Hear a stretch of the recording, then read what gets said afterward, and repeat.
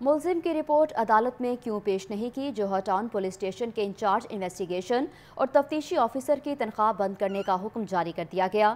Model town کچہری نے مراسلہ بھی جاری کر دیا۔ تفصیلات بتائیں گے نعمان نور۔